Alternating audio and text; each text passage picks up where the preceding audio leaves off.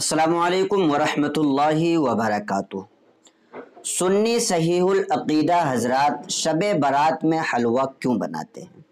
हमारे एक स्टूडेंट ने हमारे एक तालब इल्म ने पूछा कि हज़रत कुछ लोग जो है शब बारात जब आती है तो हमसे ये सवाल करने लगते हैं, हमारे गाँव में चूँकि वहाबी देवबंदी बहुत ज़्यादा हैं, इसलिए इस पर एक क्लिप आप ज़रूर बनाएँ कि शब बारात में हलवा क्यों बनाया जाता है।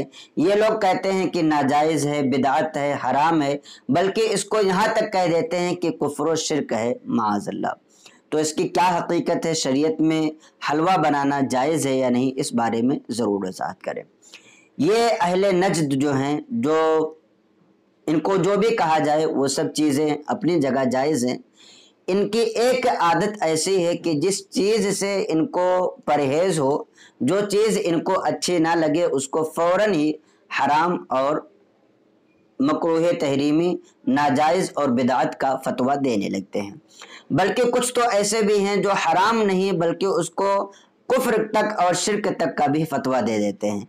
अब इनको यही नहीं पता है कि कुफ्र कैसे किसे हैं और शिरक कहते किसे हैं।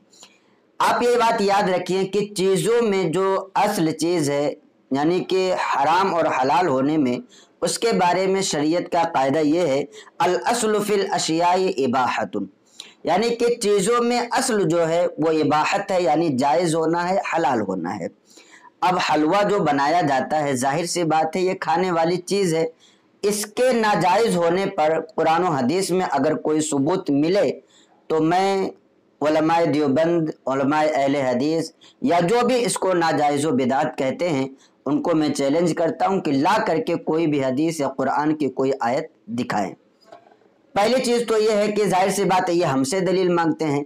तो जब हम हलाल समझते हैं तो हमसे दलील ना मांगिए, क्योंकि इनकार करने वाले पर दलील देना, दलील पेश करना, ये ज़रूरी होता है। और ये भी शरीयत का कायदा। आप इन्हीं लोगों से पूछेंगे, जो इनके उलमा हैं, जो कहते हैं कि नाजायज़ है, बिदात है, आप इन्हीं लोगों से पूछेंगे कि दलील लाना किसके लिए ज़रूरी है? तो वो ये कहेंगे कि इनकार करने वालों के लिए ज़रूरी है। तो अब आप पूछिए कि जब इनकार करने वालों पर दलील लाना ज़रूरी है तो आप अहले सुनने से दलील क्यों मांगते हैं? हम तो भाई हलाल समझते हैं, और हलाल समझने के लिए किसी दलील का होना ज़रूरी नहीं है, बल्कि अल्लाह के रसूल सल्लल्लाहु अलैहि वसल्लम इरशाद फरमाते हैं अल हलाल मा फ़ी किताबिही वल हराम मा हर्रम फ़ी किताबिही वमा सकत अनहु, फहुव मिम्मा अफा अनहु। और कमा कल रसूलुल्लाह सल्लल्लाहु अलैहि वसल्लम कि हलाल वो है जिसको अल्लाह ने अपनी किताब में हलाल फरमाया हो? हराम वो है जिसको अल्लाह ने अपनी किताब में हराम फरमाया हो? और जिससे शरीयत ने खामोशी इख्तियार की हो, वो लोगों के लिए रुख्सत, उसमें इजाज़त है। अब ना तो शरीयत में कहीं पर यह लिखा हुआ है कि हलवा नहीं बनाना चाहिए, या कहीं पर यह लिखा हुआ है कि शब बारात में हलवा बनाना हलवा बनाना जो है, यह नाजायज़ बिदात और गुमराही है। अगर कहीं पर लिखा हुआ मौजूद है तो ये दलील ला करके दिखाएँ। और हम जो है, हलवा खाने पर आपको दलील बताते हैं कि आका करीम सल्लल्लाहु अलैहि वसल्लम को हलवा बहुत ज़्यादा पसंद था, और इसी तरीके से शहद भी आप बहुत ज़्यादा पसंद फरमाया करते थे। हदीस मुबारक है, हज़रत आयशा सिद्दीक़ा रदी अल्लाह तला फरमाती हैं, कान रसूल वसल्लम व शहद कि नबी वल असल, कि नबी करीम सल्लल्लाहु अलैहि वसल्लम हलवा और शहद को पसंद फरमाया करते थे। इमाम इब्ने बत्ताल रज़ी अल्लाह ने हलवा के बारे में फरमाया कि हलवा हर मीठी चीज़ को कहते हैं। अम्बिया अलिया सुलह बुजुर्गान दीन जो है, मीठी चीज़ को खाना पसंद फरमाया करते थे। अब जो चीज़ें अल्लाह के महबूब बंदों को पसंद हो अम्बिया पसंद फरमाएँ अलिया पसंद फरमाएँ, बुजुर्गान दीन पसंद फरमाएँ, उससे ये खाने से मना करते हैं। हलवा मिठाई को कहते हैं और उसकी एक दलील ये भी ये देते हैं कि हलवा बनाने में चूँकि पूरी शब बारात वाली जो रात होती है, ये पूरी रात चली जाती है, इसलिए हराम है। ये कहाँ की बात हुई? ये तो कोई दलील ही नहीं हुई। और रही ये बात कि पूरी रात का जाना तो मैंने कहीं पर भी ऐसा नहीं देखा है। हमारे घरों में जब से अलहमदिल्ला हम पैदा हुए हैं, तब से ही देखते आ रहे हैं। मगरब से पहले या ऐशा से पहले पहले हलवा तैयार हो जाता है। उस पर फातिया भी करा दिया जाता है और उसको लोगों में तकसीम भी कर दिया जाता है। लोग ले जा करके अपने अपने घरों पर खा भी लेते हैं। और रही ये बात कि इसको पूरी रात बनाया जाता है, इसलिए हराम कह देना। ये तो कहीं का भी कोई सबूत नहीं है, कहीं कोई कोई दलील नहीं है।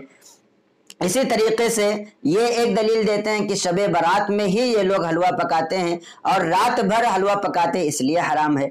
अब आप ये बताएँ कि यह कोई दलील होती है? रात भर अगर कोई हलवा पकाए या हलवा बनाए तो यह हराम है और इसको ज़रूरी समझते हैं, इसलिए भी यह हराम है। किसी चीज़ को ज़रूरी समझना, हम इसको ज़रूरी पहली बात तो नहीं समझते हैं। लेकिन अगर कोई ज़रूरी समझता हो तो उसके ज़रूरी समझने की वजह से किसी हलाल चीज़ को हराम कह देना, ये इतना बुरा नहीं है कि जितना किसी कोई चीज़ को इंसान ज़रूरी समझता हो, बल्कि हलाल चीज़ को हराम ठहरा देना, ये ज़्यादा शरीयत की नज़र में बुरा है और पसंदीदा नहीं है। इसलिए ये जो उलमा हैं उलमा देवबंद हैं उलमा अहल हदीस व खबीस हैं, ये जो हलवा पकाने पर एतराज़ात करते हैं, नाजायज़ और बिदात होने का फतवा लगाते हैं, उनसे मैं कहता हूँ कि अगर नाजायज़ और बिदात होने का फतवा लगाते हो, हराम, कुफ्र और शिरक का फतवा लगाते हो तो इस पर कोई दलील पेश करो। मुझे उम्मीद है, बल्कि यकीन कामिल है कि तुम कोई दलील पेश नहीं कर सकोगे। बोलना तो कुछ भी है, कुछ भी बोल सकते हो। सोशल मीडिया पर आए, बोल करके चले गए, उसमें आपको कोई मना नहीं करेगा। कुछ लोगों ने सुना, कुछ लोगों ने नहीं सुना। जिसको अच्छा लगा उसने अमल कर लिया, जिसको नहीं अच्छा लगा उसने अमल नहीं किया। लेकिन अगर आप वाकई यकीन, यकीनन, यकीन के साथ बोलते हो और आप अपने दावे में पुख्ता हो कि हलवा बनाना नाजायज़ हराम है तो इस पर आप दलील ज़रूर दो।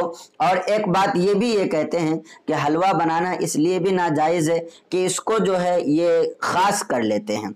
तो किसी दिन के लिए, किसी दिन को किसी चीज़ के लिए ख़ास करना, ये नाजायज़ और हराम होता है।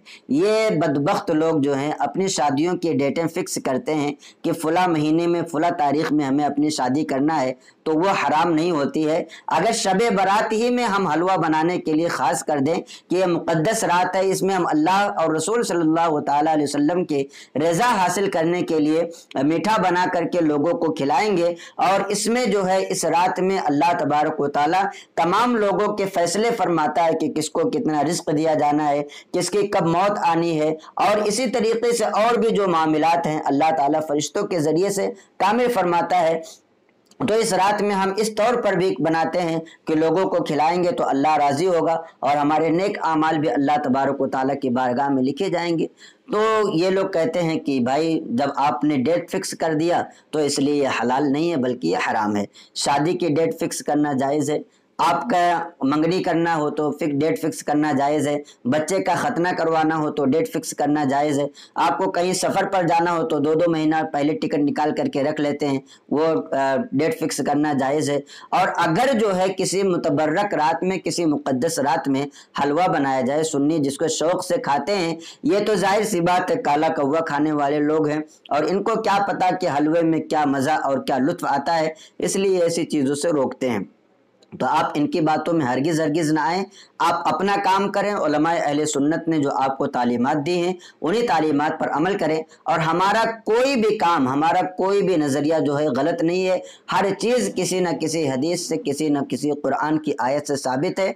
और इनको मैं कहता हूँ कि अगर तुम पुख्ता हो तो ला करके दलील दो। अब भी मैं कहता हूँ कि ला करके दलील पेश करो। ईमेल आईडी हमारी डिस्क्रिप्शन में मौजूद है। अगर कोई वहाँ भी देवबंदी भेजना चाहें तो वो भेज सकते हैं। असलकम वरहमल वर्का